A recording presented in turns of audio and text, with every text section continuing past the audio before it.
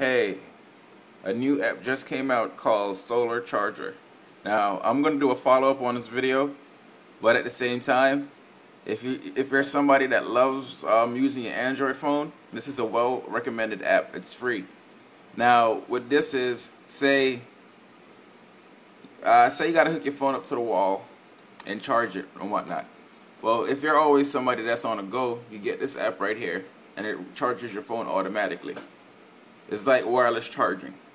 Now, how this works is by the sun, the moon, or some type of light that's in the house. Just like how a solar power calculator would work. It works just like that. Now you have to just download the app and open it, and that's it. And voila. And I'm gonna do a follow up on this. So just go to your market on your um Android phone. It works on any Android phone. Just search for it, open it up, and voila. Uh, as far as for Metro PCS phones, they should work. Alright?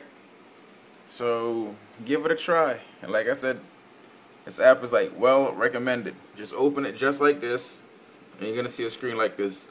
Now with the gauges, it's gonna uh, it should go up and down to show you how much power it's uh, receiving from whatever light source. So I'm gonna go get me an Android phone and do a full review on it. All right. Thank you for watching my video and hit the like button for me, please. And share this videos with your friends and tell your friends. Yeah.